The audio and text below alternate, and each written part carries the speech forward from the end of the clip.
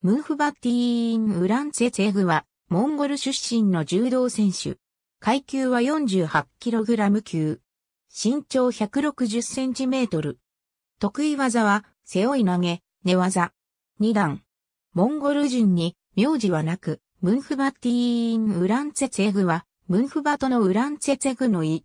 父親のムンフバトが、モンゴル相撲の選手だった影響もあり、柔道は15歳の時に始めた。2009年のユニバーシアードでは、決勝で日本の先見八ルナに袖釣り込み腰で敗れるが2位となった。世界選手権では2回戦で、韓国のテイテイ県に指導2で敗れた。2010年の世界選手権では、初戦で日本の福見優子に今朝方で敗れた。その直後のワールドカップタシュケントでは、国際大会初優勝を飾った。2011年の世界選手権では、初戦でルーマニアのアリナ・ドゥミトルに GS に入ってから総合負けを喫した。2012年2月のグランドスラムパリでは、含みに縦四方型で敗れたが3位となった。4月のアジア選手権では準決勝で日本のイベヒサコを有効で破るなどして優勝を飾った。7月のロンドンオリンピックでは準々決勝でドゥミトルに技ありで敗れると、敗者復活戦でもアルゼンチンのパウラ・パレトに指導2で敗れて7位にとどまった。パレト戦では試合の最中に相手がウランツェツェグの柔道着とその下に着用していた T シャツを掴んで離さなかったために右側の乳房がさらけ出されてしまうハプニングも起こった。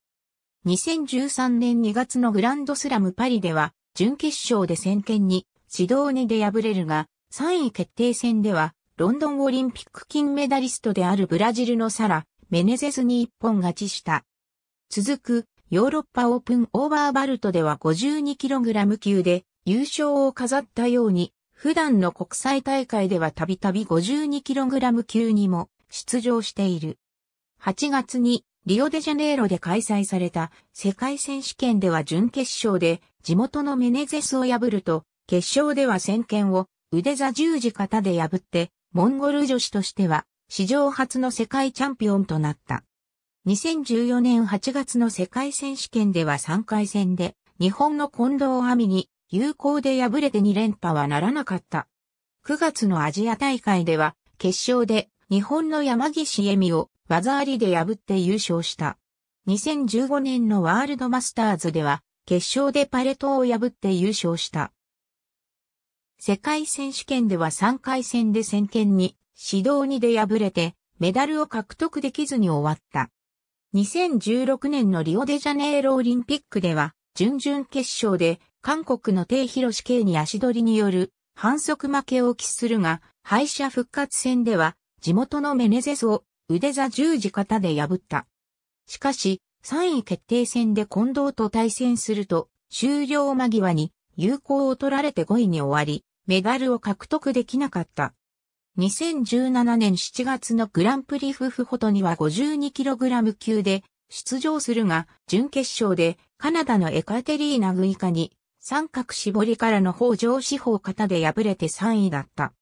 得意の寝技で負けたのは2013年にワールドコンバットゲームズ団体戦でゴミ夏日に横四方型で敗れて以来となった。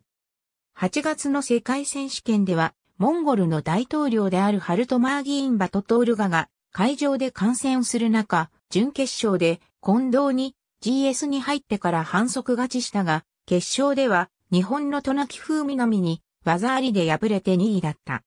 12月のグランドスラム、東京では決勝で近藤と対戦すると GS に入ってから北条四方型で敗れて2位だった。なお、世界ランキングでは4年続けて年間1位となった。2018年のアジア大会では準決勝で、定に技ありで敗れて3位にとどまり、今大会に連覇はならなかった。世界選手権では準決勝で、トナキと対戦すると、袖釣り込み腰で技ありを選手するも終盤に、偽装攻撃で逆転の反則負けを喫した。3位決定戦でもモンゴルからカザフスタンに帰化したオトゴンツェツェグガルバドラフに反則負けして5位に終わった。グランドスラム大阪では決勝でトナキに横四方型で敗れて2位だった。12月のワールドマスターズでは準決勝で近藤に腕座十字型で敗れるなどして5位に終わった。2019年2月のグランドスラムパリには52 52kg 級で出場するも、準決勝で獅子目合いに大内刈りで敗れるなどして5位に終わった。3月のグランプリトビリシでは 48kg 級に戻して出場するも、準決勝でフランスのメーラニークレマンに反則負けして3位だった。8月に東京で開催された世界選手権では準決勝で世界チャンピオンであるウクライナのダリア・ビロディドニ法、上司法型で敗れて3位だった。2021年1月のワールドマスターズでは、準々決勝でビロディドに敗れて3位だった。2021年のワールドマスターズでは、ビロディドに敗れて3位だったが、グランドスラムタシケントでは、決勝で角田夏美を谷落ちで破って優勝した。世界選手権では準々決勝で小川かなに大外刈りで敗れるも、その後の3位決定戦で、コスボのディストリアクラス2期に反則勝ちして3位になった。7月に日本武道館で開催された東京オリンピックでは準決勝でクラス2期に技ありで敗れるも、3位決定戦でポルトガルのカタリナ・コスタを十字型で破って3位になった。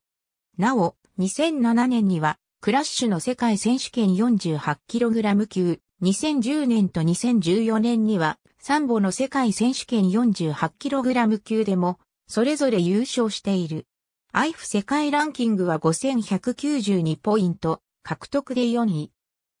ありがとうございます。